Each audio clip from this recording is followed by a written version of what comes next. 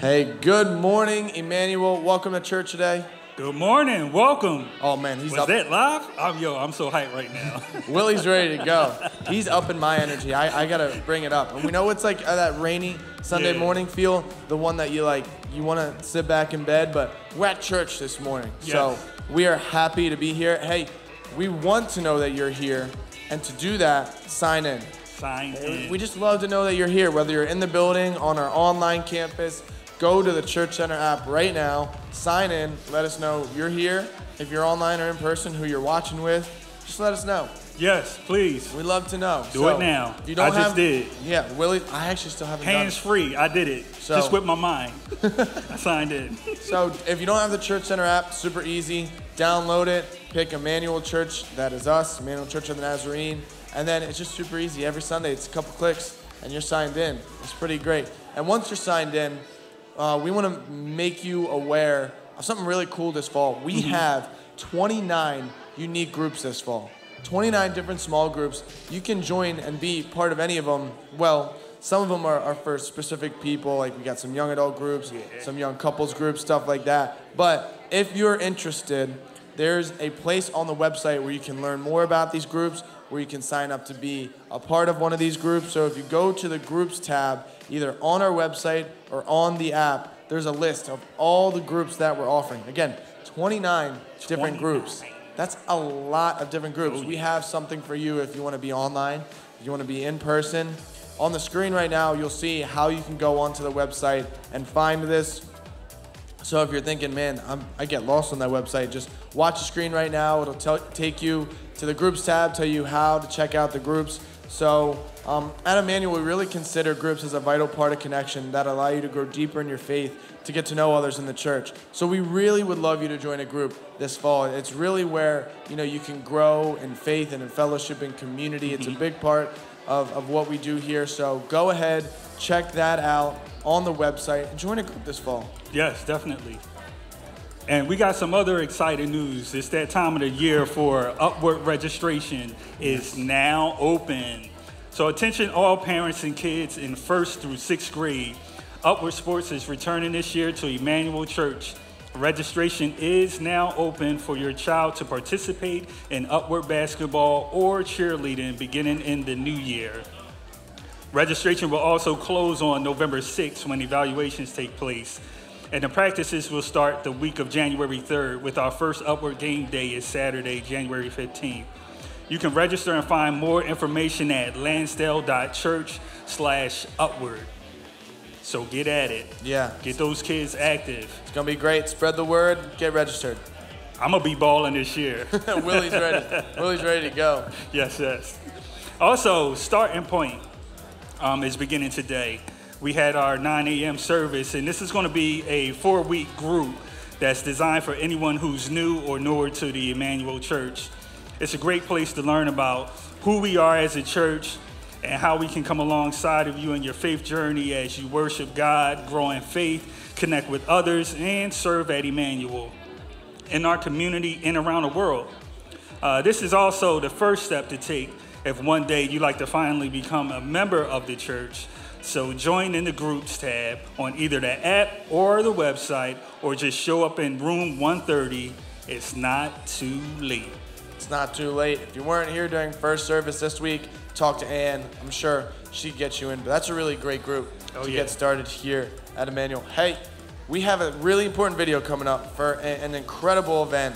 So you're going to listen to the details of this video. So why don't we go to the video? A conversation that you can have face to face with someone that you care with. An intimate way that we get to talk to him and get to know him and allow him to get to know us on a deeper level. What is prayer to you? I don't know. A way you communicate to God.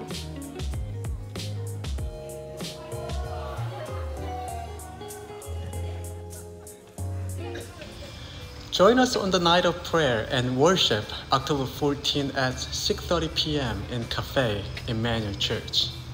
Let's gather together to bless our families, local churches, communities, and nations. Let's break our hearts and make us humble in his presence that may not be driven by our ego, but that we may understand God's will with simplicity and glorify His only Son, Jesus. That is going to be an awesome event to be a part of. So you saw the dates up there. I'm really looking forward to those nights of prayer and worship. Hey, another event I'm looking forward to that is technically not for me, but I'm gonna weasel my way to show up anyway. The Fall Fam Jam is this Friday. If you don't know what a Fall Fam Jam is, let me explain. If you are in kids ministry, if you are a child who's in first through sixth grade, this event is for you. Basically, you get to come hang out on Friday, have all this fun, play games, win prizes, do all this super cool stuff. You're gonna get to hear a devotion. Yeah. I mean, that's awesome. It's all you need. And it's just gonna be tons of fun. So be here on Friday with Miss Allison. It's gonna be a great time, so much fun. If you have any questions, you can go to lansdale.church slash kids. There's more information on there. Or just find Miss Allison. She would love to tell you about it and how much fun that event is going to be. But there's only one way you're really gonna know how much fun that event is. Oh yeah, you gotta be there. You got to be there. You gotta so, be there. be there this Friday here at Immanuel at 5:30 p.m. It's almost time for service. I know we're like rearing and ready to go. I know I'm ready to go. Oh, I'm We hyped. got a great service for you guys today. God's going to be moving, but like always, I want to pray for our service and just remind you if you have a heart to give today, if if you really want to give, there's a couple ways that you can do that. There's receptacles in the back and one in the lobby. You can go to the website or the app and just go to lansdale.church/give. Um, there's multiple ways to give that way. We're still accepting uh, donations for the offering that Mark talked about last week for the missionary.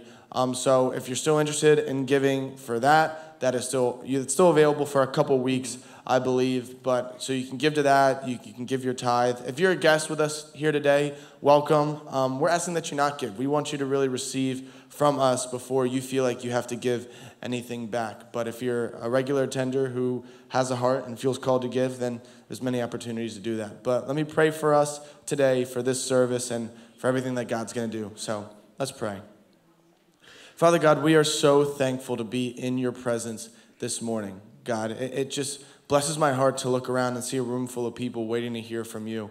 God, and we have multiple ways that's going to happen today. We're going to worship, we're going to hear your word, God. We're just going to celebrate you today through this service. And so, God, I pray this morning that we wouldn't let anything from this week hold us down, God, because we know that in your presence chains fall and burdens are released, God. So I pray in this place today that through seeking you, we can just leave everything aside. We can grow closer to you today, God. We can come to know you in a new way, Father. We, we want you. We want who you are because who you are is, is the greatest thing that we could ever experience. God, so I pray through this service today that you would move, that your spirit would just take a hold of this building and every person in it and every person watching, God. Would you be so blatantly present that we can't deny your presence this morning?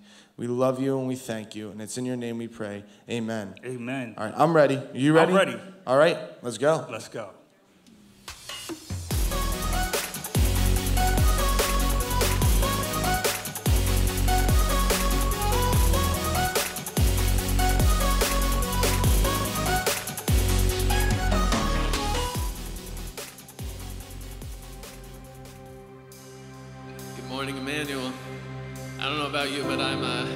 Waking up this morning, and that's okay.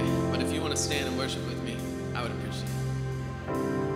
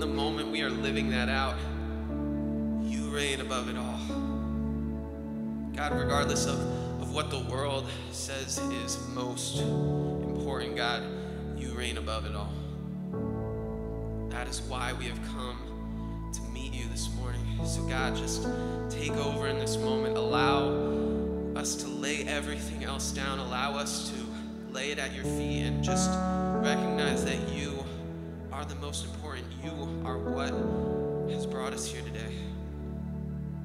So, God, allow us to let you love on us in the way that you so desperately want to. Allow us to just sit and listen with open hearts and open minds, God, for what you have to say to us. We love you. And we thank you. And all God's children said,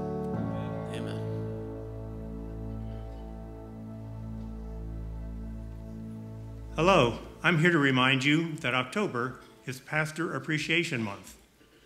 This year, we're going to recognize not only our three pastors, but also our directors of children's ministry and teen ministry. Allison Wetzel is our director of children's ministry. Allison is just uh, an amazing person with lots of energy, lots of creativity, who has a strong heart for our children. You're just amazing, Allison. We appreciate all that you bring and your family that are there and support you behind the scenes. Uh, your energy level is uh, just wonderful. Our director of teen ministry is Jake Bunjo. As many of you have experienced, Jake is a very engaging, fun, and yes, sometimes funny guy who uh, has a real heart for our teens. Uh, Jake is an excellent teacher, is uh, very engaging. You've done an amazing job, as well as Allison, of working through all the challenges that have been presented in the last year when we couldn't meet regularly as we normally would. Our pastor to Asian American families is Jungmo Koo. Jungmo, we love you and your family.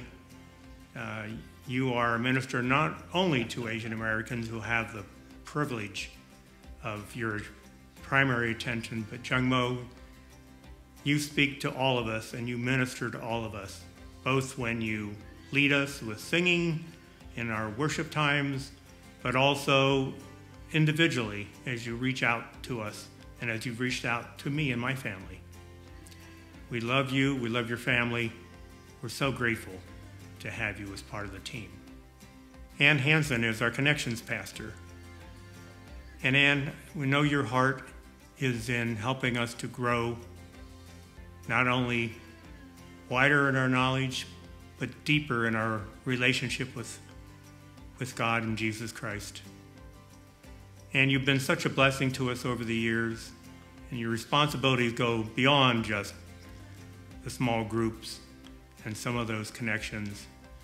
We love you and your family, and we're just so grateful to have you as part of our team. Our lead pastor is Mark Prue. Mark, you and Holly came here about 14 years ago, and what a blessing it has been since then. You're a tremendous leader.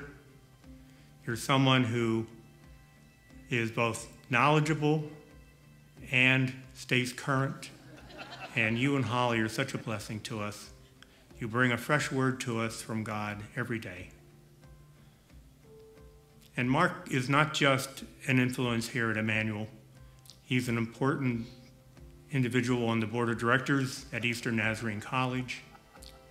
He's an instructor with Missio Semi- Seminary, teaching our next generation of leaders and ministers. He's active on the district uh, advisory board and other committees, and I'm sure there's many other things that I'm not even aware of or not even thinking of. But Mark and Holly, thank you so much for all you bring to us. And we love and appreciate you so much. So, Pastor Appreciation isn't just about one day, one presentation. We want to reach out to each of these people and others on the church staff to let them know how much we love and appreciate all that they do and the wonderful individuals they are, and perhaps more importantly, even the wonderful team that they are. So let's take a few moments to show them our appreciation, but also please reach out to them yourselves. Send cards. If you're so inclined, maybe a gift card, or if you make blueberry muffins, maybe you want to make something for them. Uh, but just some tangible way to show your appreciation for all they do.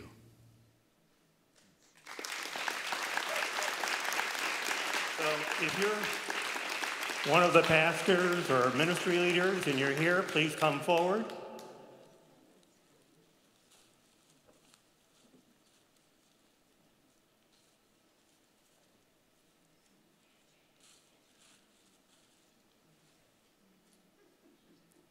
Know that Ann is leading uh, starting point, and Allison's running around with the kids. Jake, I'm glad you made it. You, you made a cameo here because you have to get back to the teens. But as you can see, um, words, we can say a lot of words, but they're still not adequate for our feelings for you, our affection, and our appreciation for you. And we just want to be intentional about telling you that today. And I would encourage all of you, as I said at the end of the video, please reach out to them in your own personal way and express your appreciation. So, would you like to stand and thank them right now? Thank you.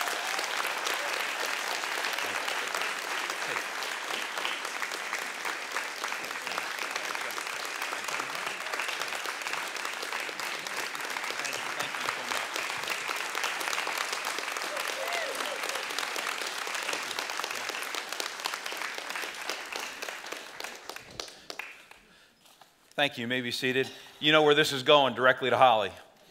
Just, you know. Um, from a um, church perspective, um, for Holly and I, Immanuel has been the greatest blessing of our lives. Um, we are privileged to serve you, and we feel like you're our family and we, we, we just have a warm feeling on the inside of us that you will always be with us in our hearts. And so, on behalf of Holly and I and the rest of the staff, I just want to express my gratitude and my appreciation. So, thank you. Hey, welcome to worship today, Immanuel family. Online campus, welcome as well. I started last week a new series, which is going to be eight weeks called Better For It Overcoming the Trauma of COVID. Where were you on October 12th, 2020? I had just had an appointment and finished up and got in the car and was driving to get my hair cut when someone from the church office called me and said, um, Do you know what's going on? And I said, what, what, are you referring to? And they said, You better put KYW radio on because Pennsylvania is about to shut down. And so, sure enough, I mean, I listened, and, um, you know, Governor Wolf was announcing that Pennsylvania is going to shut down tomorrow. And my first thought was, I don't even know what that means. My second thought was, do I need anything at Costco? So I called Holly. And I said, Do we need anything at Costco? And she said, Well, you know, we could use some toilet paper.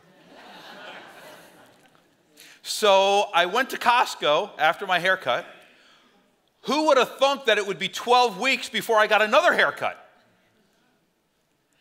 And I walked into, first of all, I drove into Costco parking lot and it was crazy and I walked into Costco, and the lines were all the way back to the end of the store, and there was nothing with regard to paper products on the shelves. And I just turned around and walked back out. I got in the car, I called Holly and said, We're in trouble. one, one piece of toilet paper a piece, right?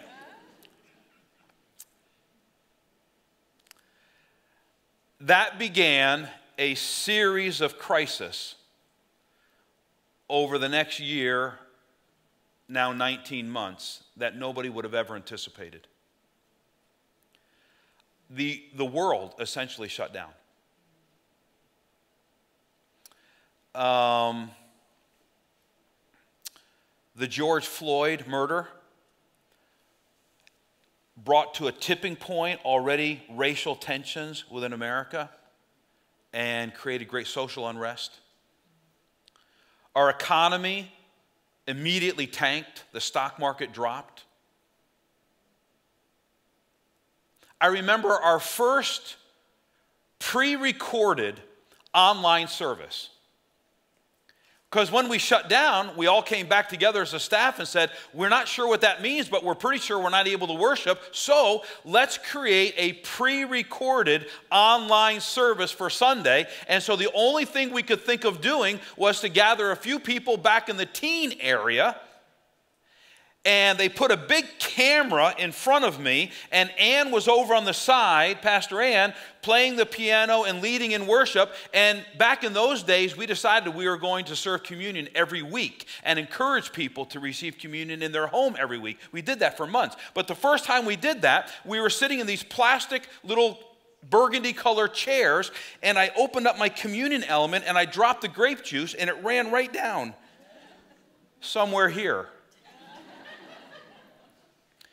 And then they turned to me and said, Time for you to preach. And I went, Right? And I sat down on a bench, and honestly, the only thing I could think about while I was preaching straight into a camera for the first time ever was can they see the grape juice that is spilled?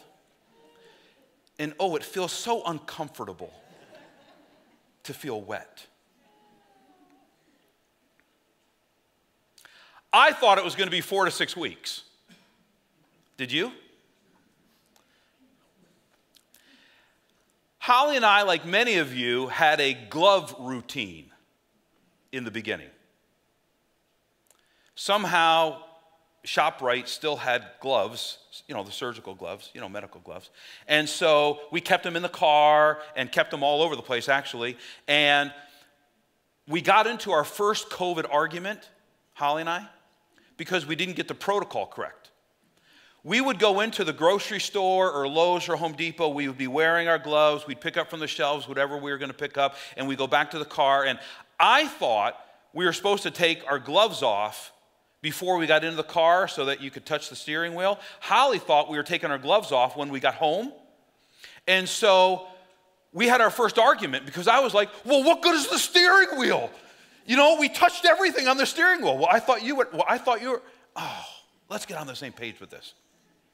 Like most of you, when we brought our groceries home, we set them in the garage and we began to wipe them down and then we'd carry them in one by one.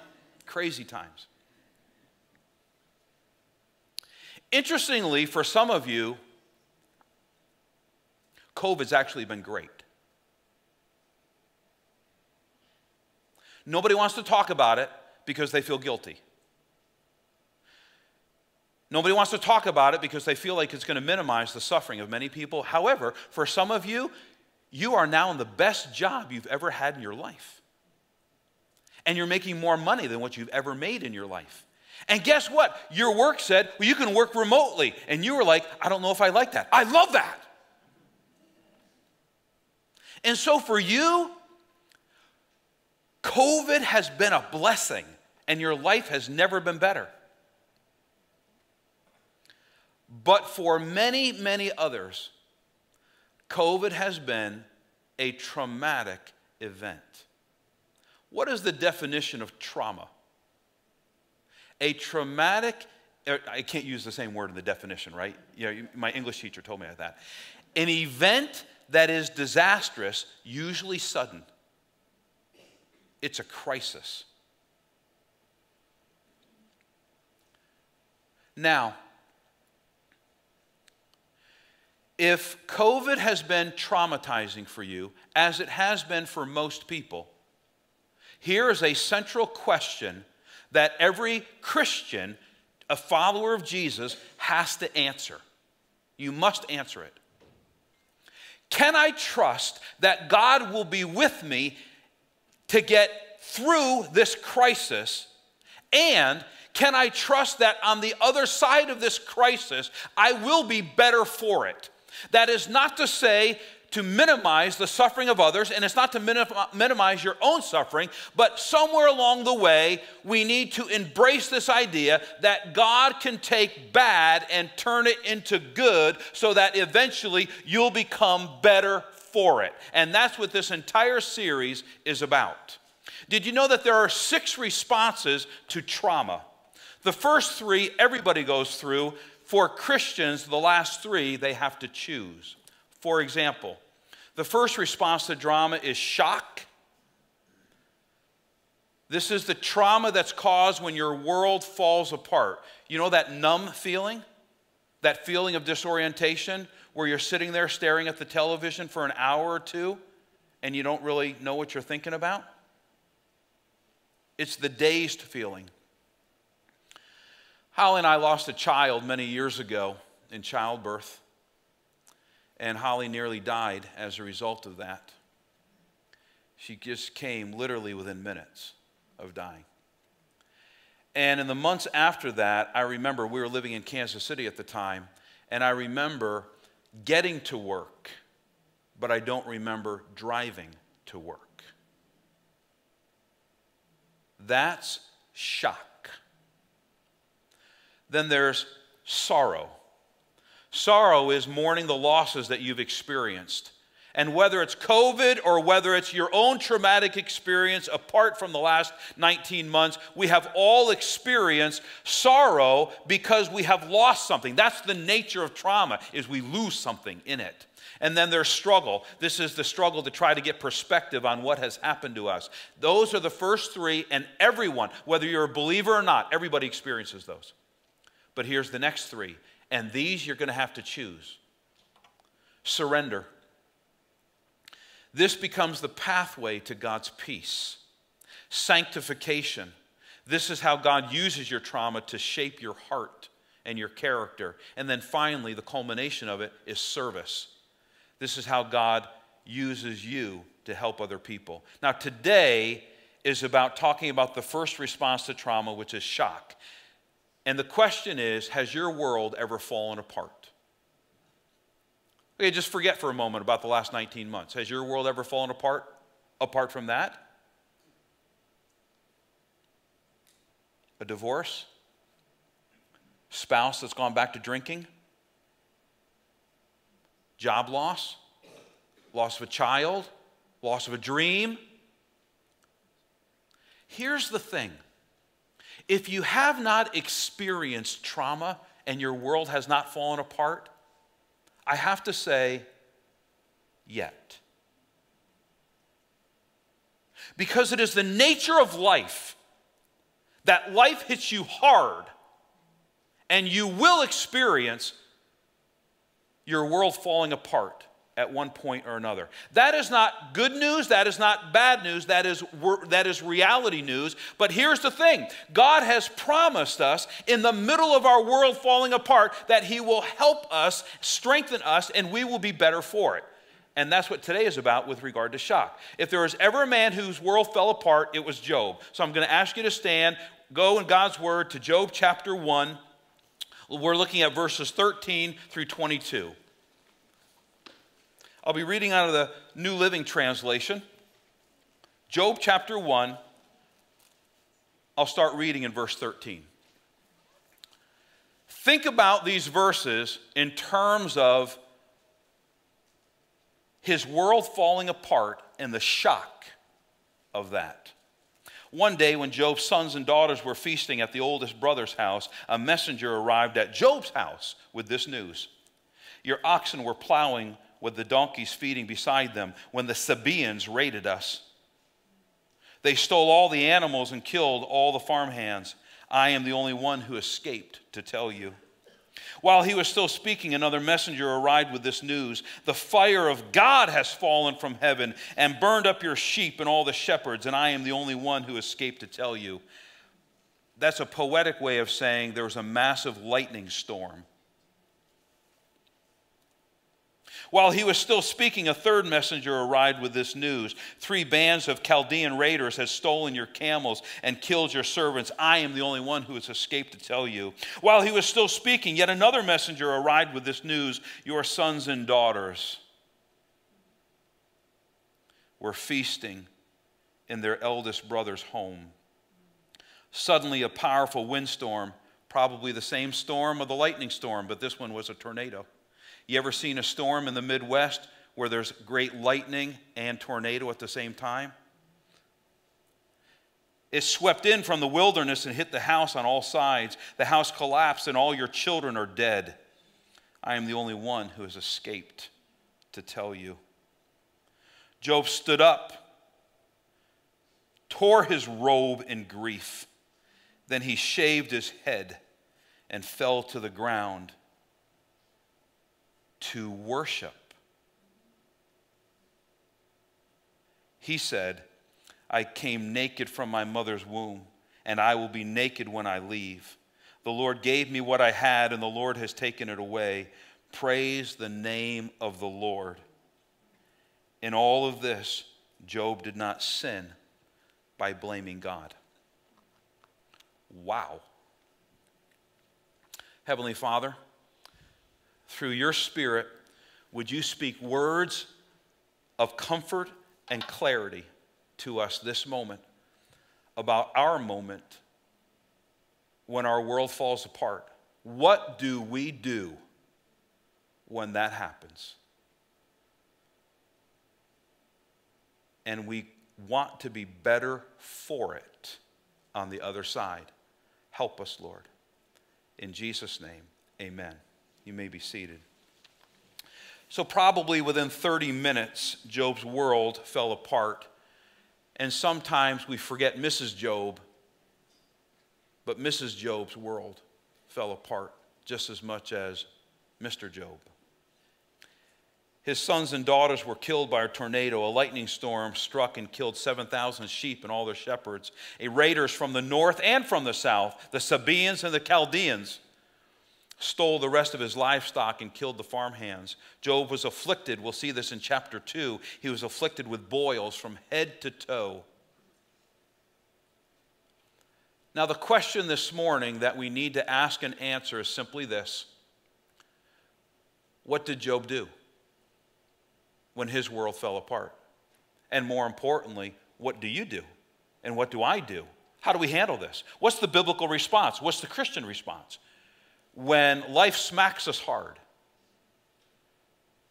when your spouse dies, and after the funeral, you go home and you just walk through an empty house, what do you do? I see four things that Job did, and I offer them to you as a way to give comfort and encouragement and perseverance. Number one, feel your feelings. Job stood up, he tore his robe in grief, then he shaved his head. What is that about? Well, back in ancient days, when you tore your clothes, that was a sign of grief and sorrow and humiliation. You were brought low. Same thing with the shaving of the head. There is a long history in the Old Testament and the New Testament of people tearing their robes. Reuben tore his robes when he went back to the cistern and discovered that Joseph's brothers had lifted him out of the cistern and sold him into slavery in Egypt. The Bible says that Reuben was beside himself and he ripped his clothes. David, before he was king, tore his robes when he got the news that Saul and his best friend Jonathan had been killed in battle. Elisha tore his robes when Elijah was taken up into heaven. Mordecai, remember the book of Esther? Mordecai tore his robes when he discovered that wicked Haman had a plot to exterminate the Jews. Wicked King Ahab tore his robes when Elijah condemned him and prophesied about his end and judgment. And unbelievably, in the New Testament, Paul and Barnabas, they tear their robes when they're in a little town called Lystra in central Turkey. And they, they do all these miracles and they preach the gospel in such a way that the people of Lystra thought that they were gods themselves and began to worship them. And Paul and Barnabas tore their robes in lament and grief and saying, Do not worship us. We're but men. When life hits you hard, you tear your robes and you shave your head because that's what you do. You feel your feelings. Since God gave you your feelings, you might as well use them. Everything that you and I have felt the last two years is normal. So let's just put it under that umbrella. If you've been feeling anxious, that's normal. If you've been feeling depressed, that's normal. If you've been feeling skeptical, that's normal. If you've been feeling angry, that's normal. If you do not know what you're feeling, that's normal. The only thing you should not do is to use your feelings to hurt other people. Sometimes when we are angry, frustrated, depressed, we act out and we hurt the people around us. That's just a no no, right? We shouldn't be doing that. And that's why in verse 22 it says, In all of this, Job didn't sin by blaming God. Job plumbed the depth of his grief. I'm going to talk about this next week, so I'm going to leave most of it for next week. But what you repress and suppress will come back to you, and they will get the better of you. You must get it out. Number two, make self care a priority. When your world falls apart, make self care a priority. Job 2 8, he scraped his skin with a piece of broken pottery. What on earth is that about? Is it that Job is so afflicted by these boils and he's in such misery that he just sits there in his ashes and continues to mourn, and all he has to do all day is to just take a piece of broken pottery and scrape himself with these boils all over him? Actually, Job was treating himself with the highest tech medical care he could at the time. Some years ago, I got an infection. I have no idea this day how I got it, but, but I got an infection on this finger. And within four hours, my hand was blown up. And it was a Wednesday night at church, and people were walking around going, Man, that looks terrible. And I said, I know, I'm not really sure what to do. I'm just going to go home and, you know, try to put a hot compress on it. And somebody said, You should not go home. You should go to the hospital. No, I'm not going to go to the hospital for that right? Well, guess what? I went home and Holly said, You're going to the hospital. So I went to the hospital and I'm in the ER and they're looking at it and they automatically put me on um, antibiotics and they said, You'd be dead by morning. Because this infection would travel up to your heart, you'd be gone. And I said, Thank you for a wife that made me go to the hospital. Unbelievably, I spent the next four days in the hospital. And then the doctor did something that gave me immediate release of my pain. He got out this scalpel and went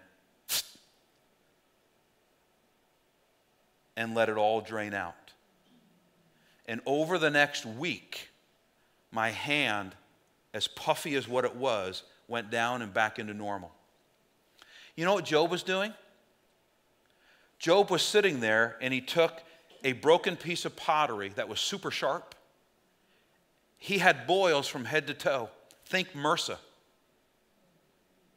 And he was simply trying to lance all the boils and let them drain and clean them out. And then he'd put oil on them. Because back in the Old Testament, even in the New Testament, oil was always a healing sign that's why we anoint people with oil today. It's, the, it's a symbol of the Holy Spirit, but it's also a symbol of healing. You know, there's 12 kinds of oil in the Old Testament.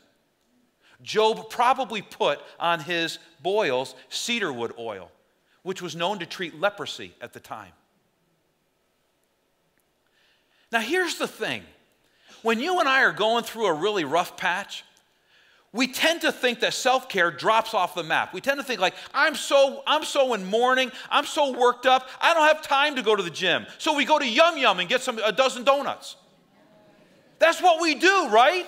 I don't care about my physical activity. At the very moment in which we don't care is the time where we should care the most. When you are totally, when your world falls apart, you should go to the gym. It's self care. I went to the doctor last month for my yearly physical, which I didn't have in two years. I was a little worried. He said, Mark, there's good news and bad news. I said, I'm always up for the bad news first because I want to end on a high note. And he goes, Well, the bad news is you, you really should lose some weight. What's the good news?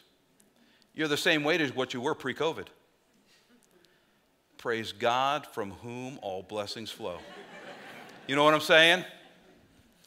I mean, I'm not where I should be, but I could be a whole lot worse. Sometimes you just take the win. So, I'm not casting blame on anyone. I just grew up thinking that taking care of your body was somehow not spiritual. I just was kind of dualistic in my thinking. You know what I'm saying? Good Christians do all these things, but all these things never included taking care of yourself. I've come to realize that that's not true at all because holiness is wholeness. So, what's good self care?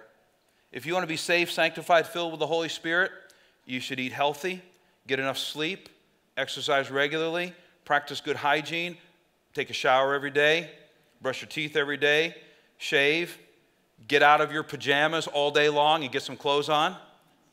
Do something you enjoy every day, like working in the garden, painting, or reading. Find ways to relax, like yoga, getting a massage, taking a bath, walking in the woods. Do whatever you have to do to bring yourself back into balance when you're in the middle of a crisis.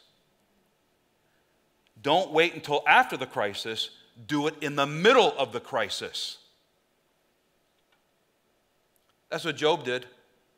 You know why Job is scraping himself? Because there's something inside of Job that says, I'm going to get through this. And I got to make sure I'm going to be good on the other side. Number three, let others in, let others help you.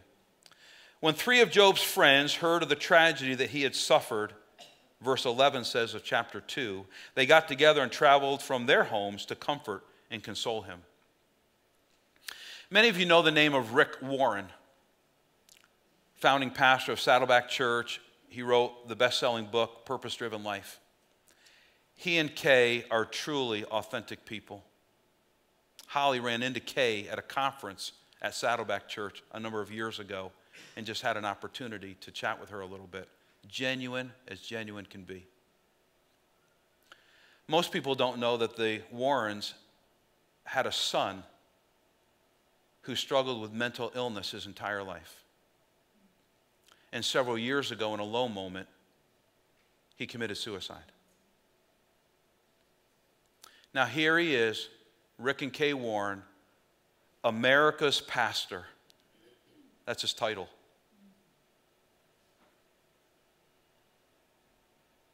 and they found their son.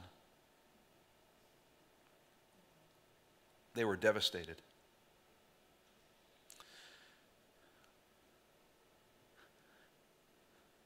Within a few minutes, their small group that they had been a part of for 13 years showed up at their door. They refused to let them go in to Matthew's home alone. And that small group took care of them month after month after month. The Warrens discovered some interesting things about their neighbors. Their neighbors just started doing things for them out of the blue. One neighbor came over and just took out their trash to the side of the road so they wouldn't have to do it. Another neighbor Warrens look out their window one day, another neighbor's just washing their car. After a few months of being away, just mourning and grieving, it was time for Rick to go back to preach again. And they have Saturday night services, and so he was getting ready to go to the Saturday night service to preach for the very first time since Matthew had died. And his Muslim neighbor, his Muslim neighbor named Yasser, came over and said these words I do not want you driving to church, Rick. I'll drive you. I'm not going to let anybody else. I'm your neighbor. Remember, love your neighbor as yourself. And so Yasser gets in the car and drives Rick to worship. Let others in. I am an ambivert. You know what that means? There's extroverts, there's introverts, and the middle is ambiverts. I'm a situational introvert or a situational extrovert, you know, depending on the situation. When I'm hurting, everything within me wants to pull in. Everything. I can come up with scripture to support that. I can come up with the best rationale to support why I'm being pulled in. But actually, it's the worst thing I can do. Because when your world falls apart, you need to let other people in. So Job had these three friends. And they just, as soon as they found out what had happened to Job, they just go knocking on his door. And Job could have done what Americans typically do. He could have opened up the door and said, Oh, hey, thank you so much. I'll take the casserole. You know, it's really a difficult time for us right now. Thank you so much. Can you call back later and close the door? But Job didn't. He opened up the door and let these three guys in. Now, here's the crazy thing his three friends ended up being horrible comforters. I mean, have you ever had somebody like try to comfort you, but everything they said that came out of their mouth was the wrong thing? And you're like, this is not helpful at all. God just needed another angel in heaven. That's why he took your boy. Come on. That's profoundly hurtful. What I find interesting about the entire book of Job is that Job never told his friends to leave. I mean, if my friends would have said some of the things that Job's friends said to me, I'd be like, yeah, gotta go. But Job kept the ongoing conversation even though they were doing a really bad job of comforting them. You know why? Because Job figured something's better than nothing. And I need to have people around me. Jesus in the Garden of Gethsemane, what's he doing? He's, he's basically laying down his life before the Father, saying, Not my will, but yours be done. And Jesus says, Peter, James, and John, come, stay, come, come close to me. I need you. When your world falls apart at the very moment in which you want to be alone, is the very moment when you should let people in. Because we're built for community and we need other people. Lastly, Job made worship a priority and he cried out to the Lord for help. I find it amazing, this phrase, and he fell to the ground to worship. Do you know that God has put an inner compass inside of us that when we go through tragedy, we immediately want to run back to Him? If you doubt that, if you were alive when 9 11 happened, you'll discover that for months after 9 11, churches were full. Right after 9 11, on a Wednesday night, I held a prayer meeting out in the front of the church that I was pastoring at the time, and so many people showed up, and we stood around in a circle and we just prayed. We prayed for each other, we prayed for our country, we just prayed, and we sought God and we worshiped Him.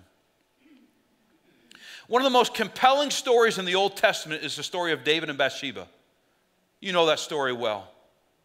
David was walking around his palace one day, and in those days, the palace was the highest ground. And so you often wonder how could David have been looking down on Bathsheba as she was bathing herself on the rooftop? It's because the king's palace was always the highest, and the king was looking down over his entire city, and he could see everybody on their rooftops. But Bathsheba caught his eye. And the Bible says in 2 Samuel chapter 12 that he called for her and she came. And they slept together. And within a short period of time, she responded back and said, I'm pregnant. So David concocts this plan that he's going to call her husband Uriah the Hittite back and he's going to, you know, the fake news, you know. Um, so, um, you know, how's it going with the war, Uriah? And oh, by the way, why don't you go home and spend the night with Bathsheba and nobody will be the wiser? Everybody will think he's the father. But Uriah was more righteous than King David and said, Far be it from me to enjoy things, the intimacy with my wife that other soldiers, my brothers, cannot enjoy. So he slept outside his own home. And David's like, oh. right? He gets Uriah drunk again for the second time and tries to get him to go home and sleep with Bathsheba, but he's more righteous than David, even if he's drunk. And he won't do it. And so David hatches this plan to murder Uriah. So now there's an adulterous relationship. Now there's murder. And that's exactly what happens, right? The troops would draw back and they leave Uriah on the front lines, and Uriah gets killed. And David goes, Whoo! All right, Bathsheba, come on. I'm going to marry you.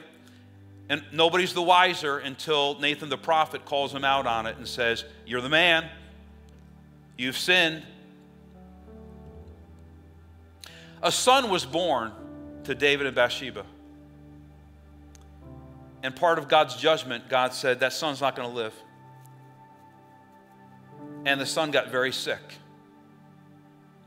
And David, for seven days, would not get up off of the ground. He prayed, begged God for mercy. He, he, he cried out to the Lord. He fasted. He would not have anything to eat. And David's advisors were worried because he was grieving so much. And then one day, the seventh day, David looks over and he sees his advisors whispering in the corner and he goes, What's wrong? The advisors didn't want to tell him that his boy had died because they thought, Man, if he's grieving like this, what's going to happen when his son dies? And David put two and two together and said, The boy's dead, isn't he? That's right, he is. You know what verse 20 says of chapter 12?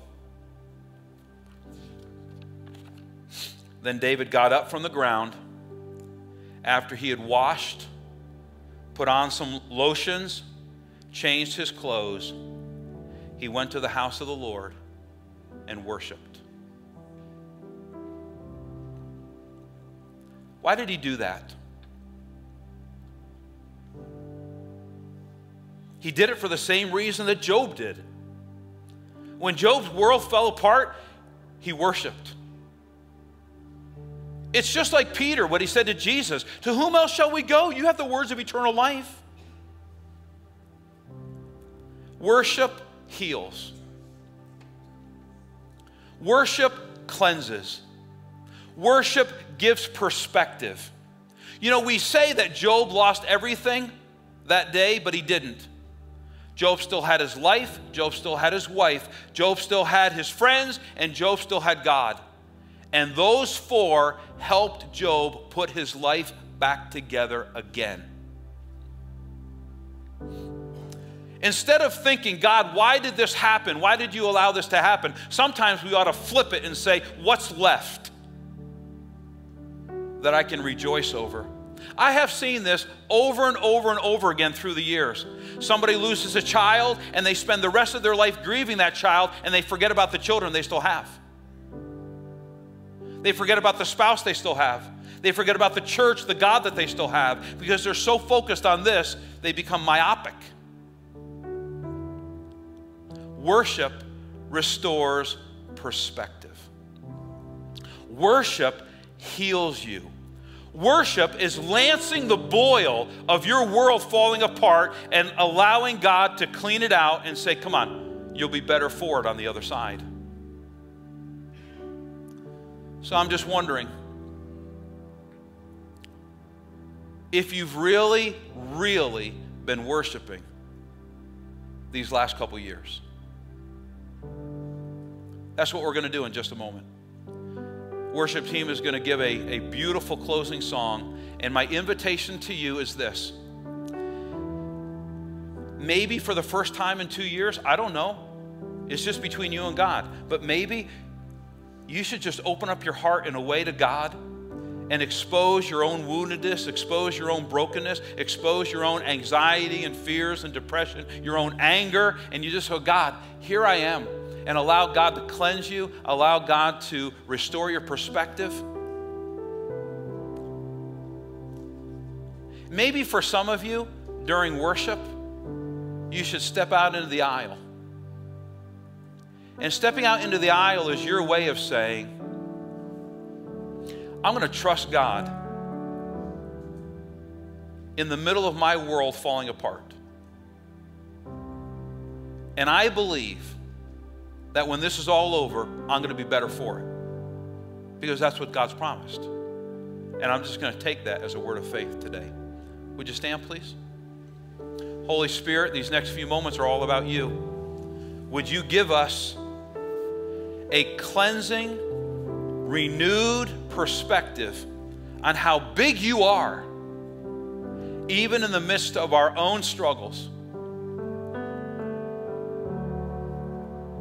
Help us to truly worship you these next few moments. In Jesus' name, amen.